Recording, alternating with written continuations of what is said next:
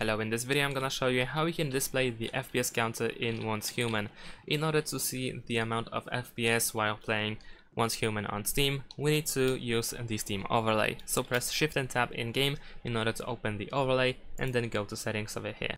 On the left side, make sure that you have in-game selected, and here you have the in-game FPS counter, where you can select the position. So by default, it is probably disabled, but you can choose the position top left, top right, bottom right, and bottom left corner and once you are done then you can simply exit and there we go we have the FPS counter in the selected position you can also enable the high contrast color in order to make sure that the FPS counter is always visible. Now if the shift and tab combination doesn't work for you, you cannot enable the Steam overlay in game, let me show you what you can do on Steam.